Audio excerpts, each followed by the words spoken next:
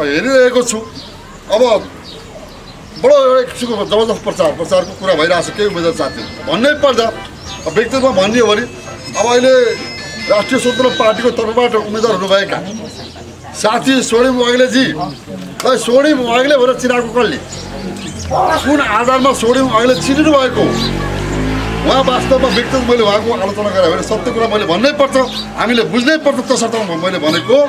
उहाँलाई त्यो अवस्थामा पढ्ने व्यवस्थादेखि लिएर त्यो चिनिने अवस्थामा पुर्याउने पार्टी त नेपाली काङ्ग्रेसै हो।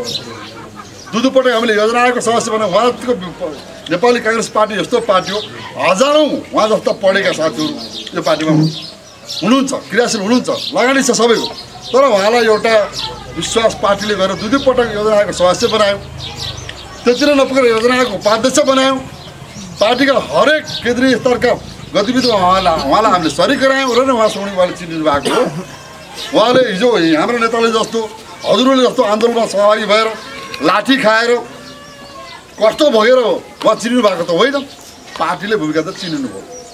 अहिले जबरजस्त ढङ्गले उहाँको बारे जुन प्रचार गर्न खोजिरहेको छ उहाँ अबद्धता भएको पार्टीको कुरा त हिजो सुन्नुभयो अर्जुनजीले भन्नुभयो।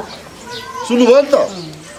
यो त हामीले आरोप लगाएको होइन। दुई करोड। दुई दुई करोड रुपियाँको बार्गेनिङ गरेर एउटा व्यवसायी व्यक्तिसँग दुई करोड रुपियाँको बार्गेनिङ गरेर पैसा मागेर त्यो पैसाले हामी मन्त्री बन्छौँ र तिम्रो काम गर्छौँ। यो त योभन्दा अझ पहिलो कुरा स्वयं रविजीकै कुरा। यो हामीले विरोध गरेर त होइन नि। उहाँ तत्कालीन अवस्थामा नेपालको कानुन विपरीत नेपालको ऐन नियम विपरीत उहाँ क्रियाशील हुनुहुन्थ्यो।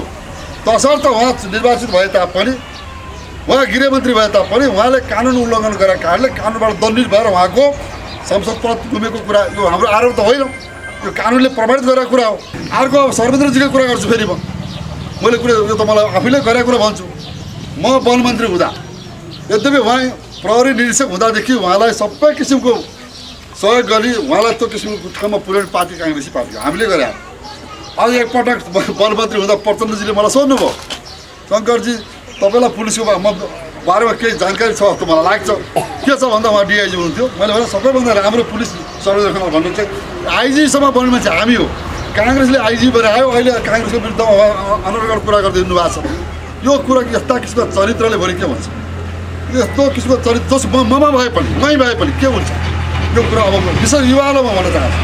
राजनीति भनेको देश विकास भनेको उत्तेजनाले भावावेशमा आएर र धेरै चाहिँ नकारात्मक कुरा गरेर राजनीतिले सही बाटो लिन सक्दैन सही निकास दिन सक्दैन।